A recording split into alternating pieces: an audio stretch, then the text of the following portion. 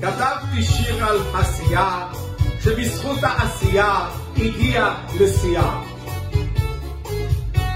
אצלנו בסייה, בצל עצי הזית, אחד אחד בורחים, עוזבים הם את הבית, לכל אחד מהם סיבה משלו, ודרך משלו לומר שלום.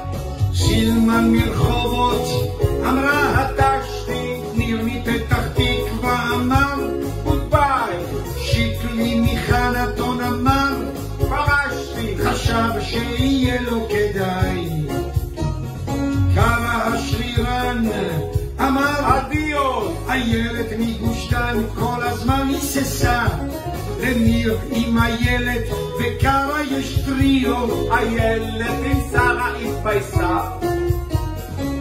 אצלנו בשיח, בצל אילן פורח, רואים כמעט כל יום שעוד אחד בורח. אבל בעוד שנה נראה את הפורשים. בזכות השריונים והמון תפקידים.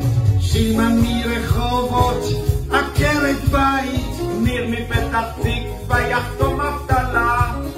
קרא שרירן, שומר בברים, שיקלי יקים משתלה. איילת מגוש דן, תהיה רשג"דית, ושבט החורש של הצופים זה מה יקבלו הפורשים של ימינה. מכל ההבטחות והשריונים. נתן, איך שרתי?